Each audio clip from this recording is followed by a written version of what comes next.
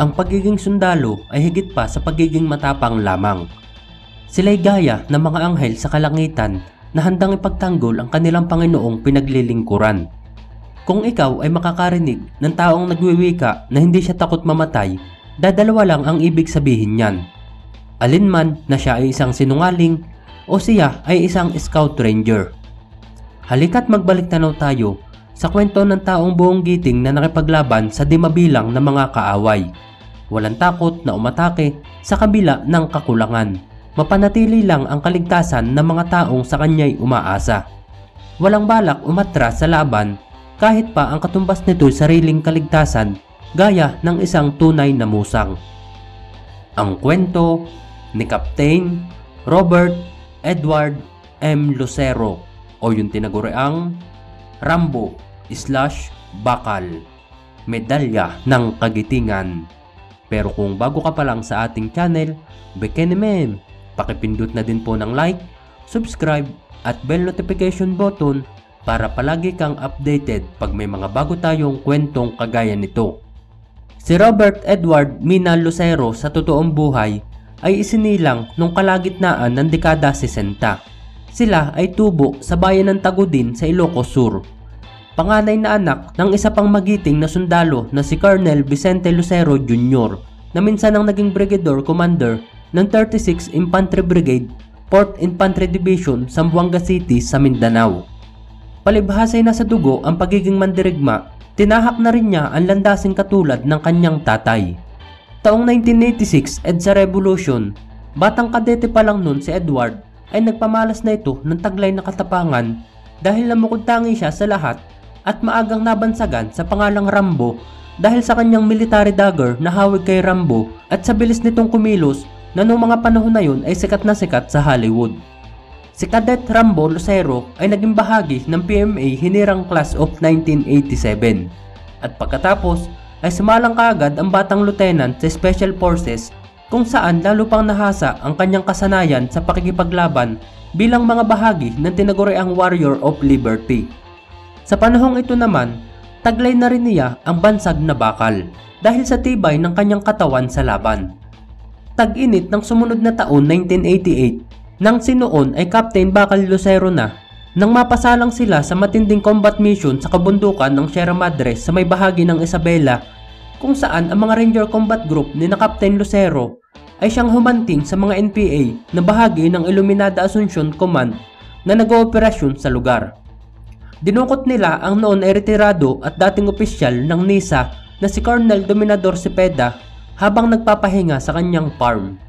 Sa kalagitnaan ng rescue mission na isinagawa, halos makuha na ni na Captain Bakal Lucero ang colonel nang maiwan nito ng mga tumatakas na rebelde ngunit sa kasamaang palad muli siyang nabihag ng mapadpad sa teritoryo ng kalaban dahil sa sobrang pagod at gutom. Patuloy silang hinanting ni na Captain Lucero hanggang sa umabot sa labing isang enkwentro sa loob lamang ng labing walong araw na walang humpay na pagtugis sa mga rebelde. Minsan na rin nakabangga ni Captain Bakal Lucero ang mga illegal loggers sa probinsya pa rin ng Isabela na pinamumunuan mismo ng kanilang gobernador doon nang minsang kumpiskahin nila ang mga trucks ng mga iyon at hindi ibinigay kahit pa sinong ipadala ng gobernador para bawiin ang mga kontrabando. Taong 1989, nang maganap ang pinakamadugong kudita sa kasaysayan nang muling magpakita ng kagitingan si Captain Bakal Lucero nang makipaglaban siya sa mga rebeldeng sundalo. Pagpasok ng dekada 90, nang mapadestino na siya sa Mindanao.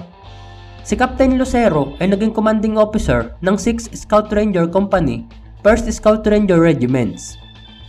Nang magkaroon ng malaking proyekto para sa irigasyon ang gobyerno, sinimulan nilang gawin ang Malitubog Maridagaw Dam o yung mas nakilala bilang Malmar Dam sa bayan ng Carmen sa North Cotabato. Sa simula pa lang ay tutol na tutol na dito ang mga rebeldeng MILF. Ipinaglaban at pinrotektahan nito ni Captain Bakal Lucero hanggang sa matapos ang proyekto.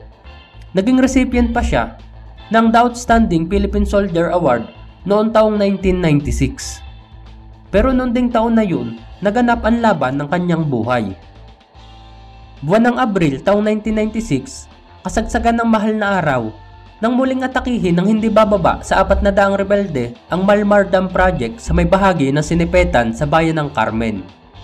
Marami ang sugatan sa mga sundalong nandun. Si Captain Bacal Lucero ang sumagot sa distress call at dagli ang sumaklolo sa encounter site kasama ang kanyang platoon na merong labing apat na elite scout rangers lamang. Dahil na rin sa nasa kasagsagan ng outing sa beach ang karamihan sa mga sundalong nasa kampo noon.